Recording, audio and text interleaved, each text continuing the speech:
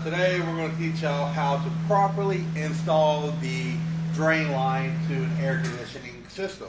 All right, uh, we're going to use this way uh, and only this way because we're going to teach you the right, correct way to do it. All right, so uh, let's go ahead and review what material we're going to need to run the condensate line. All right, so uh, what Aaron has in his hand right now is a three-quarter PVC pipe. Okay, our, our, other fittings you'll use will be the P-trap. Okay, um, we'll have the uh, male adapter. Yes, three We have the three-quarter T. We have a three-quarter coupling, and that's used to conjoin the uh, PVC pipes together. And we have the three-quarter 90, all right?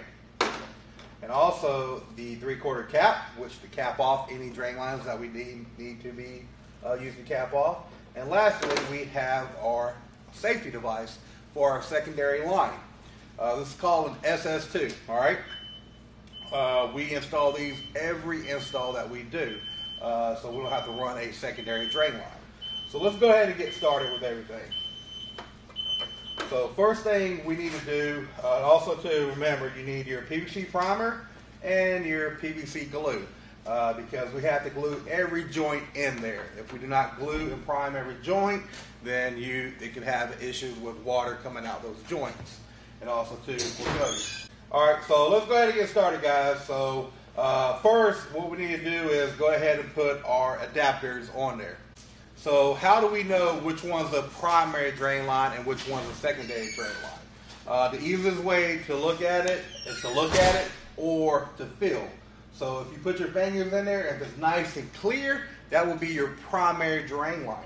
If you put your fingers in the other one and you feel like there's a restriction or something blocking it, that will be your secondary drain line. So it's very initial to know which one's your primary and which one's your secondary.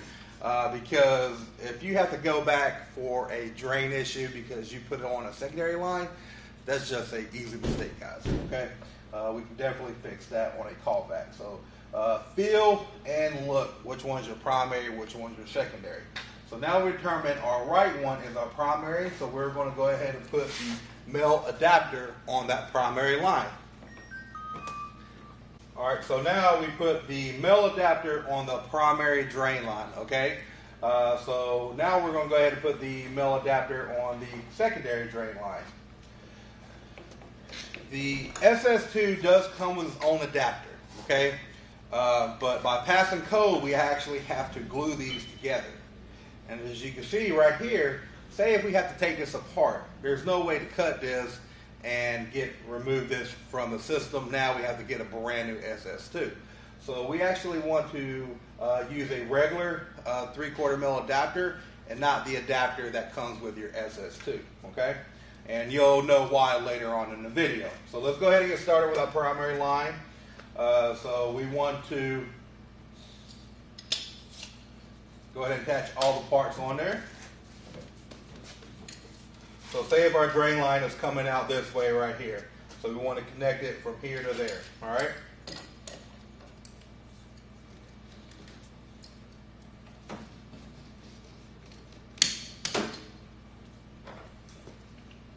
And you always want to dry fit everything first, okay guys? Uh, because if you dry fit it, if you make a mistake, that's okay. You can fix it. They can take it apart and get it done correctly. But if you go ahead and prime and glue it, you can't take it apart. You have to reuse. Now you have to reuse brand new uh, uh, fittings on there.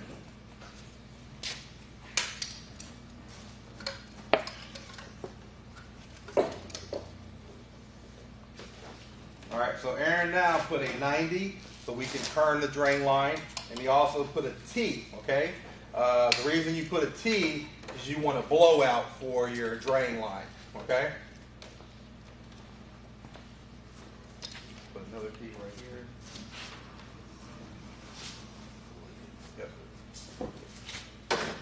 We're just going to turn it for y'all so y'all can see how it's going to go. Uh, most time it's going to go that way, but we're just going to demonstrate on how uh, it's going to flow on there, okay? So as you can see right here, back up a little bit. So as you can see right here, you want to have this T in line with the P-trap. So now you can go ahead and uh, put a blowout on here. Uh, the purpose for a blowout is, say if you need to clean out the uh, PVC P-trap. So now you can actually clean it out, okay? Uh, you can use uh, nitrogen or you can take a little uh, scrubber to go completely all the way through there, push any debris right here out the system, okay? So that's one reason why we actually have a blowout right here.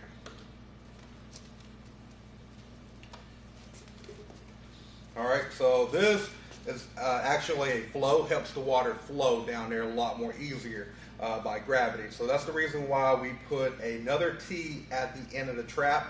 So when there's air, there's air right here, and it'll help the water flow down the drain line a lot more easier. Okay, guys? So basically, that is all you need to know to hook up the PVC pipe, okay? Uh, also, too, you want to make sure this is secure. Uh, every five feet, this has to be secure, okay? Uh, so make sure if it's a lot longer, right here, you want to put supports along there. Uh, the best bet is you can do it every three feet. So remember that in your nose, just do it every three feet and you're good to go. Uh, because the farther you do, uh, you have more chance of bowing up, okay? If you have every three feet, you got a nice straight line and you have zero chance of bowing up. And if a system does bow up for you, it's actually going to back feed into the system and shut off your SS2. Uh, so we want this straight as possible in a downward slope, okay? Uh, so the degree on that is what, a uh, quarter every three feet? So a quarter inch every three feet on that. So this is exactly how it's supposed to be run for your primary drain line, okay? So what do you want to glue and prime? So you always want to prime everything on here except for your blowout. Okay? You want to leave this completely open. All right? Uh, water's not going to go above here because this is a lot higher than your primary drain line. So you don't have to worry about it overflowing this point right here. So all you have to do is just put the cap on here and that. Uh, the reason for that is because you want to have room to blow that out. All right? So you can clean it completely out that way, but not gluing this part right here.